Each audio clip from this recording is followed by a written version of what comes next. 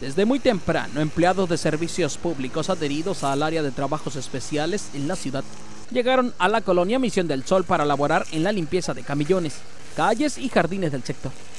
Según el encargado del departamento, Jesús Castillo Cantú, destacó que esta labor llega para embellecer la ciudad, la cual se busca que presente limpieza en todas las colonias. Tres cuadrillas diariamente salen para cortar maleza, recoger y barrer los lugares en los que realizan las acciones. Aseguró que el personal ha llegado a sectores como la Bartolomé Delgado de León, entre Calzada y las Haciendas.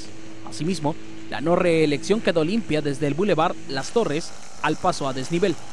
En la colonia Misión del Sol, vecinos señalaron que es necesario que estas actividades continúen con el fin de que las colonias se tomen en cuenta. Muy bien, porque había un cochinero y muchos animales. Ah, ¿Había temor de que alguna serpiente, algún animal apareciera aquí?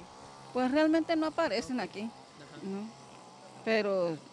Pero, sí está bien lo que andan haciendo.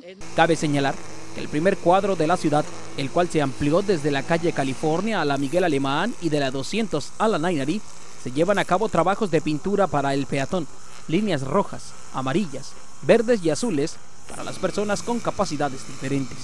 Con imágenes y edición de Emanuel Bracamontes, informó para las noticias.